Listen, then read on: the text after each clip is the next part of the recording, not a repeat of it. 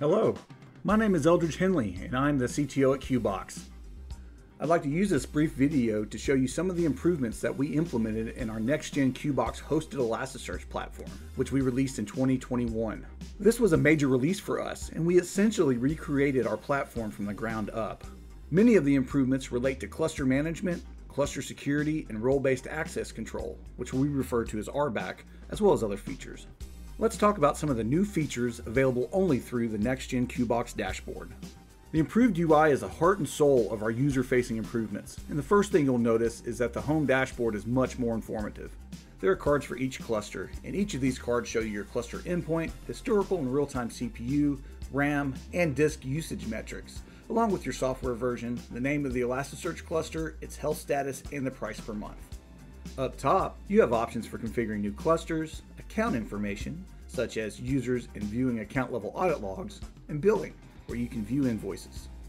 To see more detail or to modify your current cluster, you simply click on Manage and choose View Edit Details.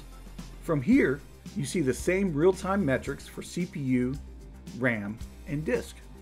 You also see a tabbed interface to view or modify your cluster's resources such as RAM, CPU, and the actual number of nodes. A security tab allows you to handle security options, such as creating secure cluster credentials and adding allowed IPs. You can also configure alert recipients.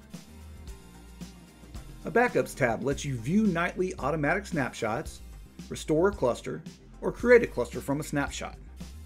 In addition, you now have the capability to manually create a snapshot whenever you need it. And finally, there's a new Alerts tab. Along with receiving alert emails, this tab also provides insights into your cluster should you have any Elasticsearch cluster level issues, such as unassigned shards, high CPU, and high heap usage.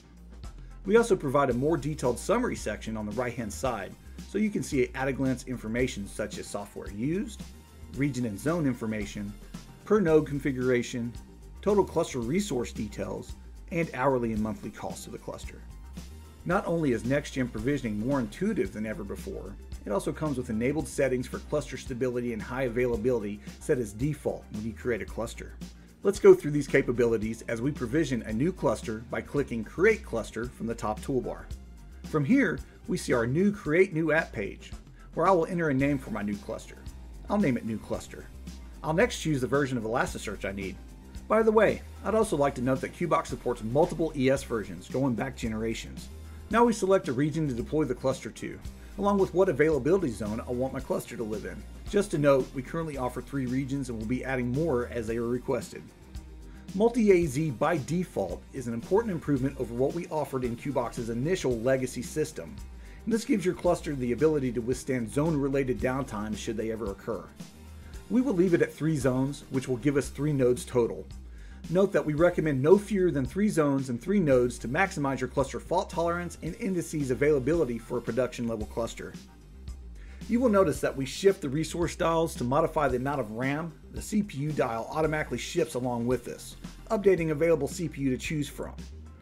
We provide this capability because at certain levels we need a golden ratio of RAM to CPU, and going above that ratio can introduce instability or the possibility of wasted resources. You can also add as many nodes as you need to your cluster. Again, anything less than 3 is strongly discouraged for production use. The amount of disk available for your cluster is tied to the amount of RAM you choose. If you need more disk space, you simply need to increase your available RAM. As these dials are modified, you will also see your node configuration, total cluster resources, and your hourly and monthly costs change within the summary section on the right. You can also add a Kibana dashboard and Elasticsearch HQ monitor at no extra cost. Enable Java Transport if it is needed. We also offer several plugin options that vary depending on the Elasticsearch version you chose. You can also enable allowed IPs, which will restrict connectivity to your cluster to only the IPs you decide to allow. Let's now create our new cluster by clicking Launch on the bottom right. Our cluster is now being provisioned. You can follow along with this progress by monitoring the progress bar. You can also step away from your computer because you'll be notified by email when the new cluster is ready. To sign up for NextGen QBox, all you need to do is click Get Started from our homepage. Once you verify your account, simply use the NextGen login link to access your dashboard. If you are a legacy QBox customer and interested in migrating over to NextGen, please submit a support ticket and we will guide you through the process. Remember, Help from our support team is here 24 7 and is and always will be 100% free to all of our customers. So if you have any questions, please don't hesitate to reach out to us. This concludes your walkthrough for Next Gen QBox. Please keep an eye on our blog page for more tutorials, as well as regular release blogs that will keep you up to date on all the new features of Next Gen as they are released. Again, my name is Eldridge Henley, and we are excited for the future of Next Gen QBox. We hope you enjoy the new implementation of our hosted Elasticsearch offering. Not only does it offer the stability, simplicity, and value our customers expect from us, it also offers the first wave of frequently requested new features. Thanks for watching, and most importantly, thank you for choosing QBox.